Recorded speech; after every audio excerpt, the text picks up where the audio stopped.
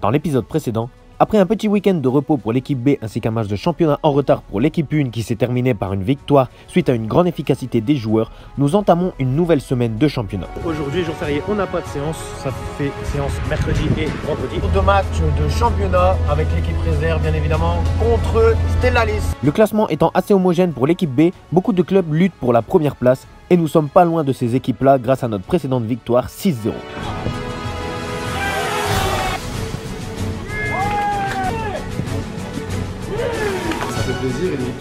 Que ce soit pour l'équipe 1 ainsi que pour l'équipe B, ces deux matchs sont importants pour s'éloigner de la zone de relégation, mais aussi pour se rapprocher des équipes du haut de tableau. Malheureusement, tout ne s'est pas du tout passé comme on l'aurait souhaité, car personnellement, j'ai réalisé la pire performance sportive que j'ai jamais faite de ma vie. Le pire match que j'ai jamais fait de ma vie.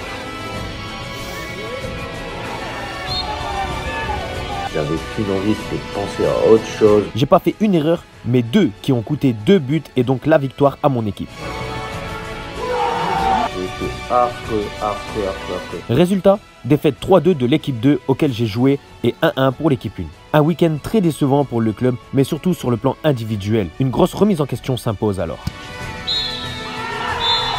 Euh, on a fait une première mi-temps assez difficile à cause du terrain. Très déçu de ma prestation et surtout très déçu bah, de pénaliser toute l'équipe. Essayons de penser à autre chose et concentrons-nous maintenant sur le prochain match de championnat contre Lille Sud pour l'équipe 2, une équipe qui fait partie des concurrents au titre de D1. Et pour l'équipe première, il faudra continuer cette belle série de 5 matchs sans défaite face à une équipe très solide de Gravelines expérimentée dans ce championnat de R1.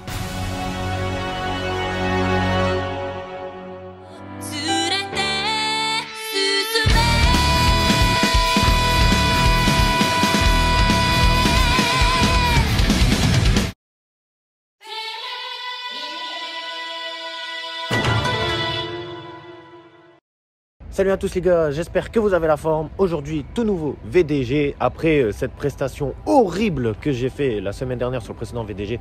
Vraiment exécrable, le pire de ma vie.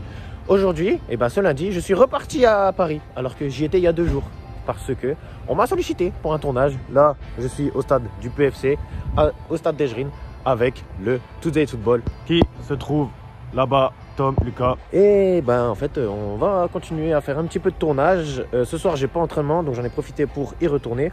Et euh, je rentre demain pour être présent à l'entraînement, mardi, etc. Et j'espère que ça va être une bonne semaine. En tout cas, ça peut pas être pire que le match que j'ai fait hier. Hein, donc. ouais Au milieu, on est souvent seul. Oui, oui, oui. le manager, il est là, les gars.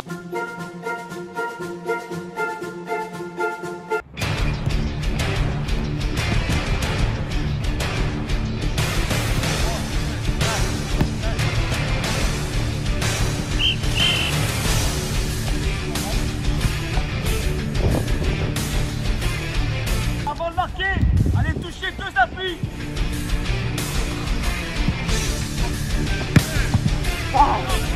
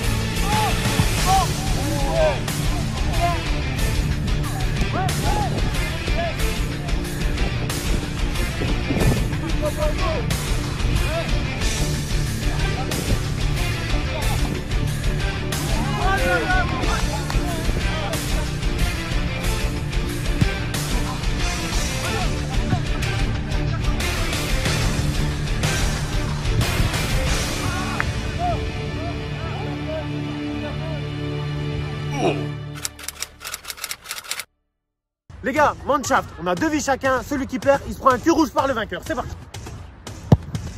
Oui, monsieur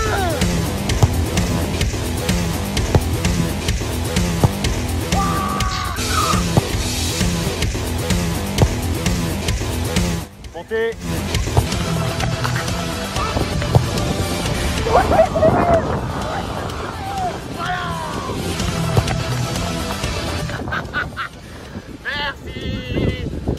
Fesses vont rougir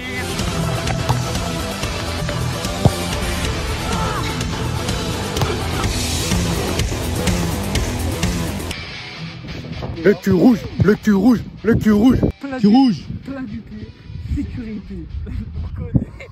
Sale putain. On l'a vu Eh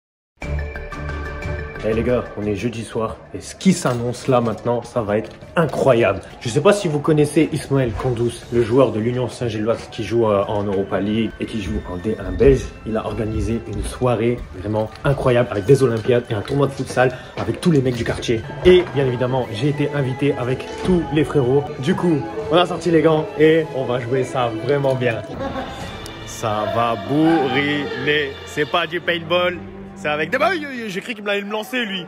Ça y est, je suis équipé. Ok. Oui. Ouais. Là-bas.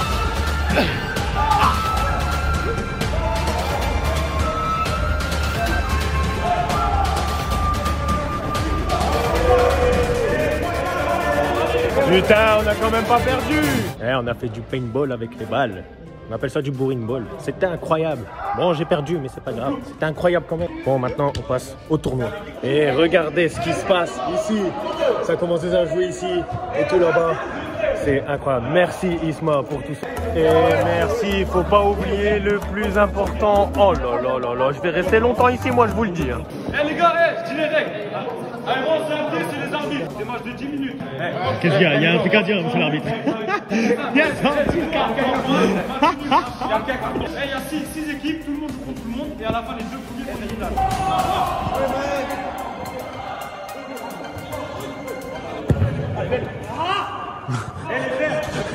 Elle est grave belle.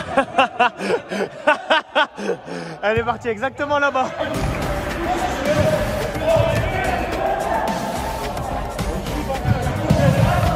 Tout ça, les gars, tout ça, c'est pour l'anniversaire d'Ismaël. Merci Ismaël pour tout ça. C'est normal, c'est normal, c'est pour vous les gars, c'est un plaisir. Les gars, petite parenthèse sur cette soirée. Il faut savoir que je suis vite tombé en panne de batterie. Donc, toutes les images que vous allez voir ne proviennent pas de mon téléphone à moi. Dans ce tournoi, je jouais avec l'équipe jaune. Et je peux vous dire que cette soirée, c'était une très très belle soirée, surtout pour mon équipe.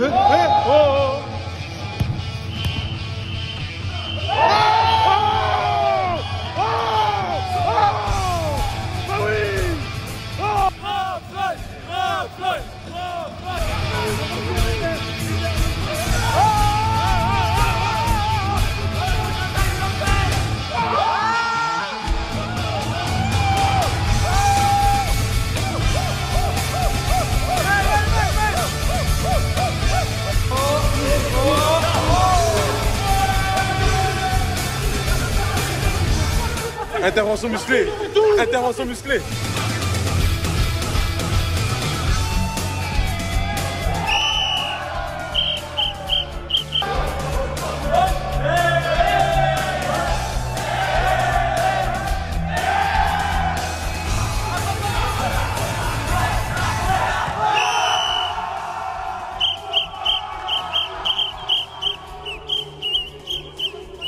Fin des 5 matchs. À votre avis, qui est terminé premier Évidemment, c'est la nôtre. Allez, direction la finale contre l'équipe de Wanis et Ryan. Oh, ça va être un beau match. Tout le monde a niveau Ligue des Champions, sauf les arbitres. Allez, go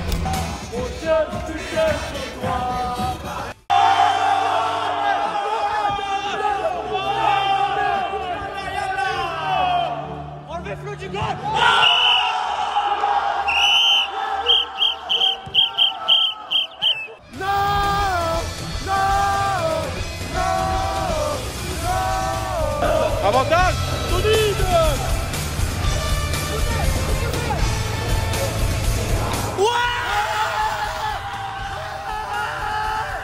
À ce moment-là, il restait 10 minutes et à la fin du match, l'équipe gagnante est celle-là.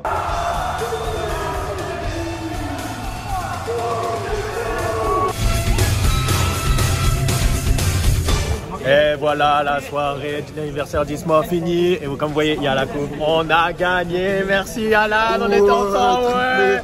Et merci.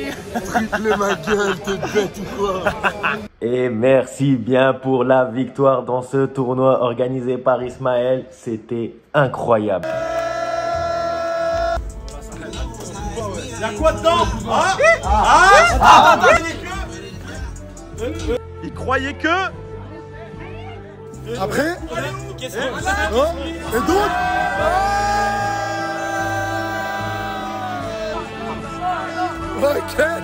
Merci Ismaël d'avoir organisé cette soirée. C'était incroyable et encore bon anniversaire à toi. Profite bien. Bon, aujourd'hui c'est vendredi et je m'en vais à l'entraînement. Comme vous pouvez le voir, il fait pas nuit parce que c'est jour férié. On est le 11 novembre et du coup, le coach a demandé à tout le monde de faire entraînement le matin. Ça m'arrange. Comme ça, euh, j'ai mon après-midi et ma soirée de libre. Je m'en vais à l'entraînement et un peu fatigué avec ce qui s'est passé hier. C'était incroyable. Et voilà. Three hours later. Bon, l'entraînement il est fini. Déjà j'étais fatigué. Et en plus de ça, on m'a mis une béquille derrière la- le genou. Je sais pas comment ça s'appelle. Vous voyez le ligament ou le tendon euh, qu'il y a derrière le genou là On m'a mis une- un coup de genou ici. J'ai trop mal. Je suis en train de boiter là, dites-vous. J'ai vraiment trop trop mal. Et sachant que le match il est dans deux jours. Je sais même pas si je vais me guérir dans deux jours pour euh, jouer le match euh, avec l'équipe réserve. Un truc tout bête. J'étais dans un jeu de possession. Et moi, tu vois, je kiffe jouer dans le champ et tout. J'étais content. Mais si c'est pour me prendre des béquilles comme ça, ah putain. Ah ouais, je suis pas content. J'ai laissé ma voiture à qui? C'est lui le pilote aujourd'hui. Ça m'arrange, j'avais mal oh, derrière le genou. On m'a mis une béquille et du coup. euh, tout droit, tout droit, ouais. Et du coup, c'est lui mon chauffeur pour aujourd'hui. Merci mon chauffeur Uber. Merci. C'est même pas mon chauffeur Uber, c'est mon ambulancier. bon, sinon, à qui s'est bien passé l'entraînement ou pas? Ouais, c'était cool. La matinale. En confiance pour dimanche Ouais. Bon, aujourd'hui on est dimanche, les gars. C'est jour de match comme d'habitude. Sauf que j'ai pas le survêtement de l'équin, forcément, parce que eh ben, je ne joue pas le match. Oh merde J'ai reçu un coup euh, vendredi, comme je vous l'avais dit, euh, à l'entraînement. Et j'ai pas réussi à me soigner euh, du coup que j'ai reçu. J'ai encore mal là, maintenant. J'arrive à marcher, je boite plus. Mais euh, j'arrive pas à plier mon genou et tout. Ça me fait trop trop mal. Du coup, j'ai prévenu le coach et il a préféré prendre le jeune gardien qui lui est à 100%. Donc euh, voilà, repos pour moi, je me soigne. Et pendant que Rémi, le cadreur, va aller filmer le match de l'équipe première, moi, euh, je vais euh, aller voir le match de l'équipe réserve contre l'île Sud. J'ai envie de voir ça. J'ai envie de, voir s'ils vont gagner ou pas et euh, essayer de vous faire quelques petits plans avec mon téléphone. Et voilà, voilà. On va aller voir ça en espérant que les deux équipes vont gagner.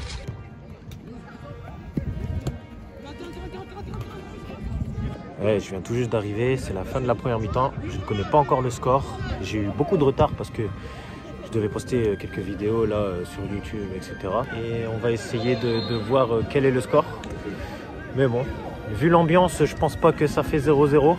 Ça m'a l'air d'être un petit peu un petit peu tendu là. Vraiment un but de merde. hein.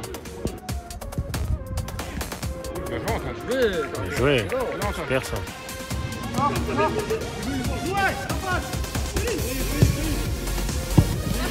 de jouer. Bien Bien, ça.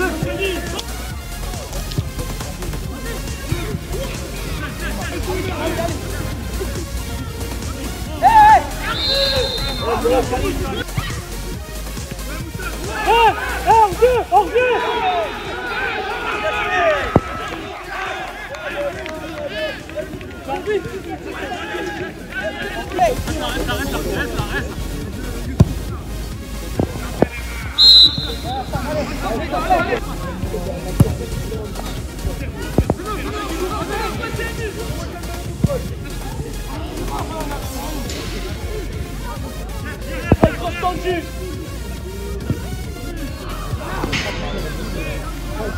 Là, ça fait 2-1. Ils ont réussi à remener au score. C'est bien, ils ont bien réagi. Et on va essayer de garder le score. Là, ça, ça reste tendu là parce que les Sud, ils sont bons offensivement.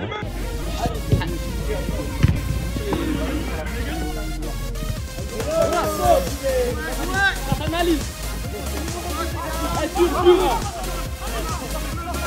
Oh Oh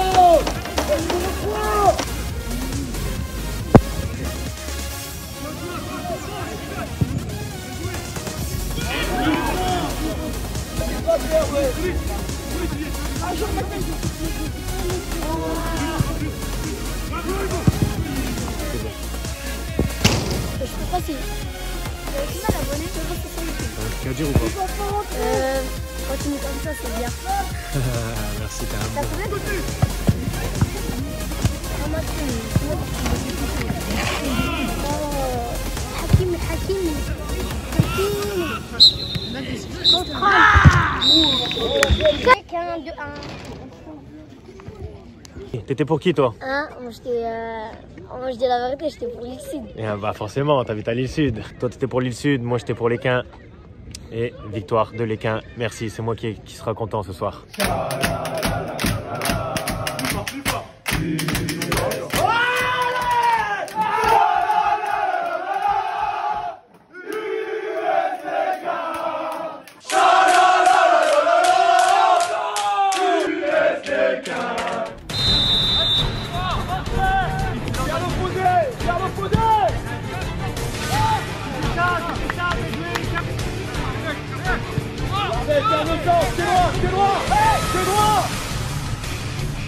Allez, bien Allez,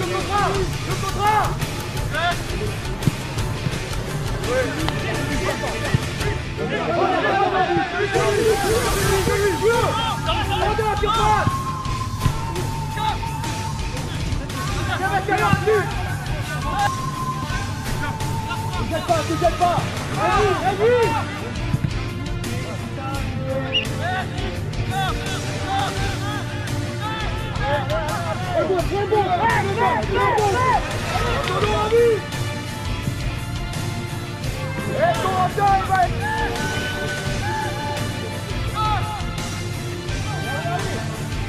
Let's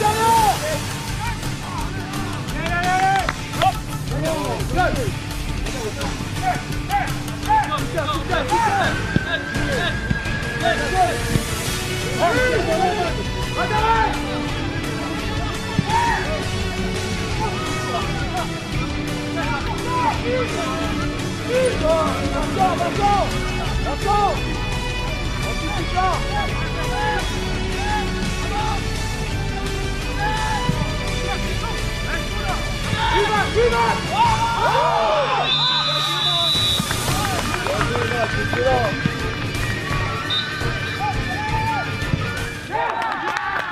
Bien joué, bien joué.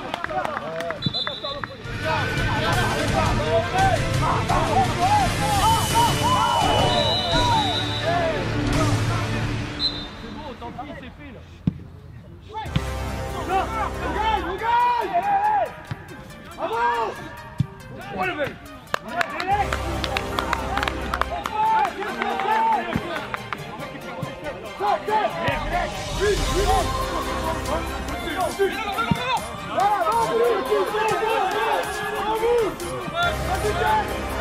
Oh!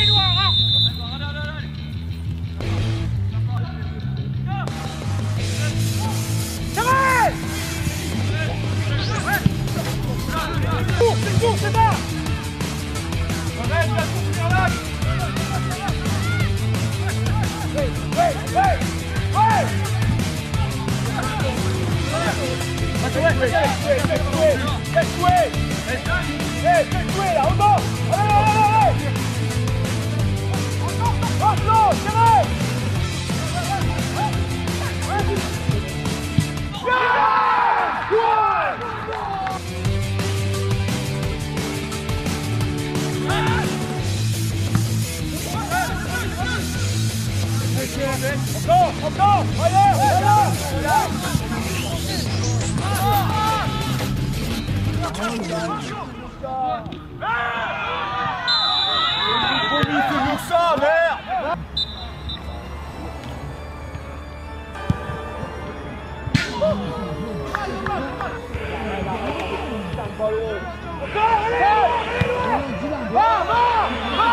Et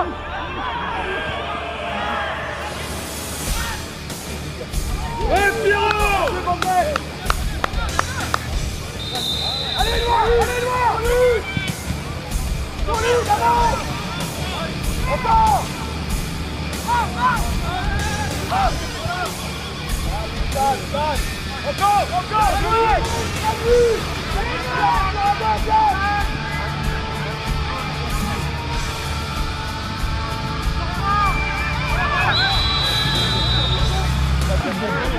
allez, allez Hop Allez, Allez,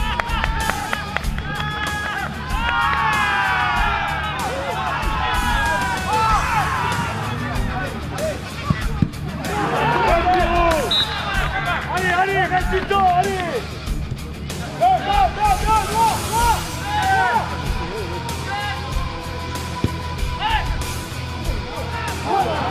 Bien joué, Van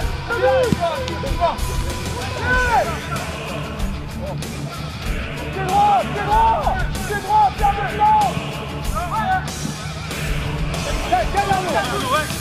Ah, côté, côté Voilà, vas-y, vas-y, vas-y,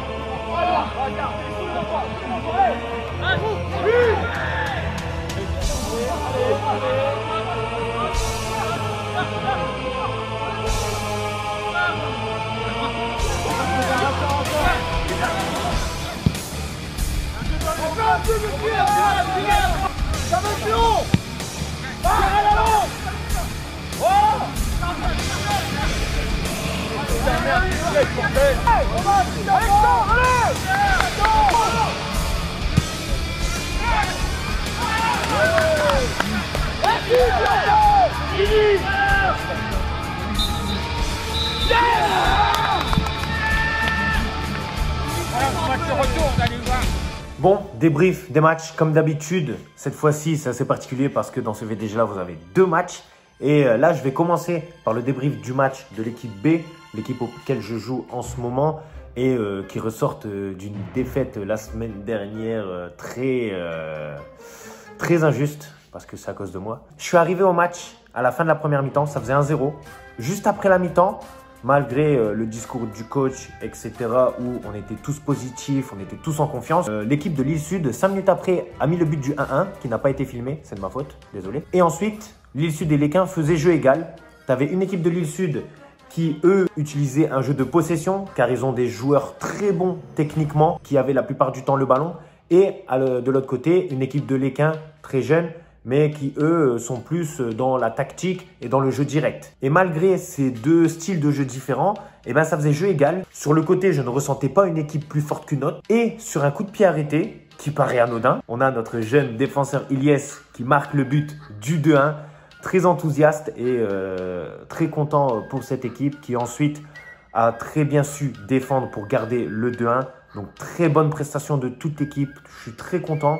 On a su être solide défensivement, très rigoureux, chose qui nous manquait un petit peu euh, ces semaines précédentes. Donc je suis très content pour eux. Maintenant, concernant le deuxième match avec euh, l'équipe première qui a été filmé par Rémi, le cadreur. Donc merci à lui. Grâce à lui, vous avez pu voir ces images là de ce très beau match. Une première mi-temps assez mouvementée. 2-2, 4 buts en une mi-temps. On s'est pris un penalty en début de première mi-temps. Le penalty, etc. 1-0, on est mené alors qu'on a fait plutôt une, une bonne entame avec des, des, euh, schémas de jeu, etc. intéressants. Euh, D'un côté, tu as l'équipe de l'Équin qui est très efficace. Deux tirs cadrés, deux buts, il me semble.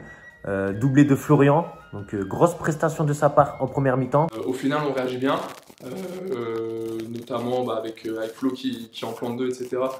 Donc on, franchement c'était plutôt, plutôt pas mal. On avait est pas mal de caractère pour, pour revenir à 1-1 et à, et à 2-1 sur un court laps de temps en plus. Là par contre, chose très frustrante, on doit rentrer dans les vestiaires à 2-1, mais une minute avant la mi-temps, on se prend un penalty qu'on ne doit pas faire faute. Vraiment, on ne doit pas faire faute. On voit un peu mal sur euh, les images parce que c'est un peu loin. Évitable, je pense, euh, surtout avant la, avant la mi-temps. C'était vraiment dommage au vu de la, première mi-temps qu'on faisait, plutôt correct. Vraiment, c'est très frustrant de venir euh, dans les vestiaires à la mi-temps à 2-2 alors qu'une minute avant ça faisait 2-1 et donc le discours du coach n'est pas du tout la même que ce qui devait se passer si on s'était pas pris le penalty. Et forcément très déçu du, de l'égalisation à toute fin, surtout sur, vu les circonstances.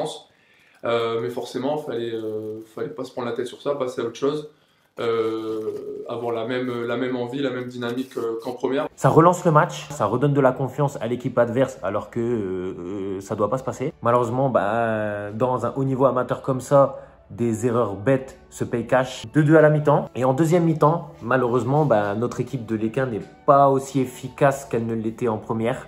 Beaucoup de déchets techniques sur la dernière passe, la finition. C'était pas si, euh, pas si euh, flamboyant qu'en première. Et euh, ils arrivent à endormir le match. Et ils marchent, je sais pas, vers la 60e à peu près. Peut-être un manque de confiance, manque de lucidité, ou alors peut-être de la malchance.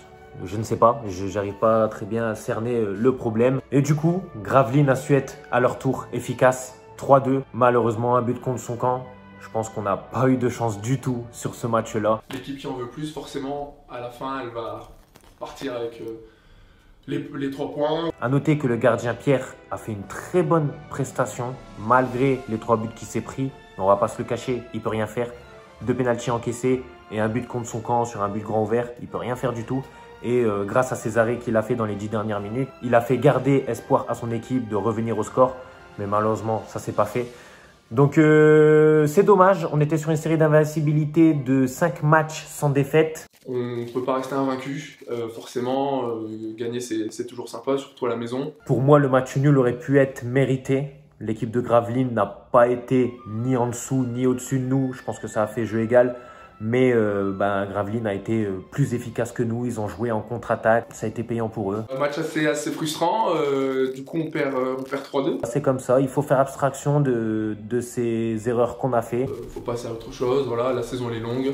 Essayer de corriger ça, ne plus les reproduire. Et, et voilà. Le match de Gravelines est, est passé. On peut en tirer du positif comme du négatif et travailler sur ça pour match de coupe surtout et prochain match de championnat à Boulogne-sur-Mer. C'est tout pour ce débrief, c'est tout pour cette vidéo. J'espère que vous allez kiffer. Si c'est le cas, mettez un petit pouce bleu. Et on se retrouve à la semaine prochaine pour un nouveau VDG. Cette fois-ci, Coupe de la Ligue. J'espère que je vais le jouer. Malheureusement, ça ne dépend pas de moi. Mais bon, on se dit à la semaine prochaine pour le nouveau VDG. Bye.